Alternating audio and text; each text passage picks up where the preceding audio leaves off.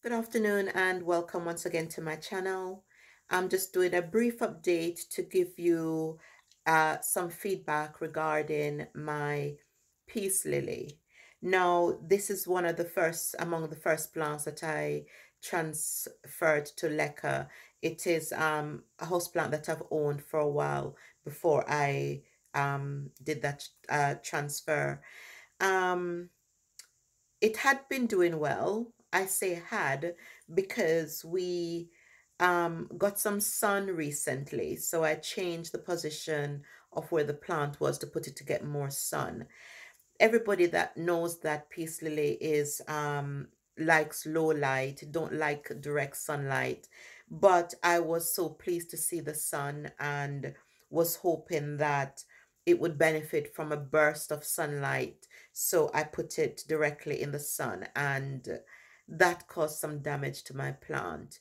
Up until then, it had been doing quite well. So I'm a bit disappointed in myself. But, you know, you learn as you go with these things because, you know, everybody's craving the sunlight. And, you know, my front room is so dark. I have a lot of light in here even during the daytime because it's so dark that I tend to want to give my plants more light as soon as it comes available. But I need to remember that not all plants like the direct sunlight. So I will show you what it looks like.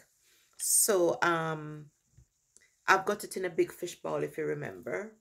So the side that the sun hit is this side and it has caused the leaves to droop quite a bit, um, which I've got nobody to blame but myself because, you know, up until then, the plant has been doing so well.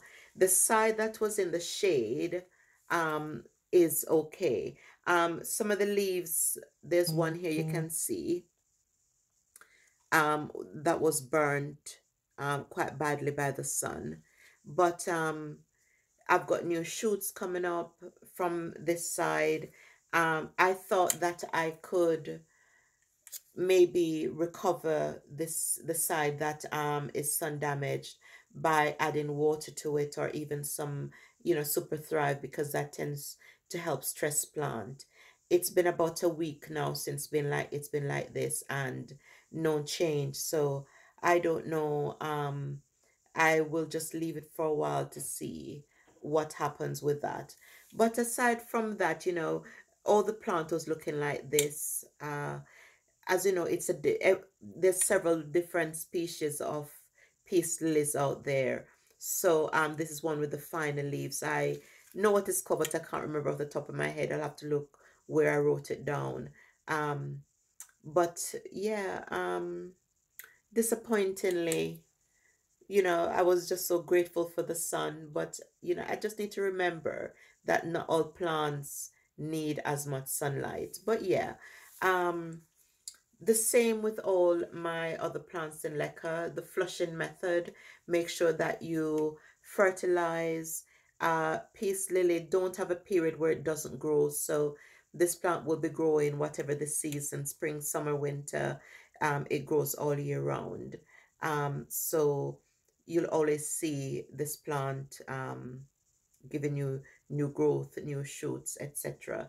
Um, yeah, so good news and bad news at the same time because the damage um, was inflicted by me. But um, yeah, as you can see, um, it was doing quite well in LECA until unfortunately I caused some damage. So yes, yeah, so yeah, so um, another success story aside from the sun damage. So anyone has got peace lily and thinking about making the transition from soil into LECA, um, peace lily is one of the easiest plants to do so with. And uh, I encourage you to do so if you so desire. Thank you for watching. Please join me again next time as I do more video. If you like this one and you want to see more of what I do, um, don't forget to subscribe. Thank you for watching.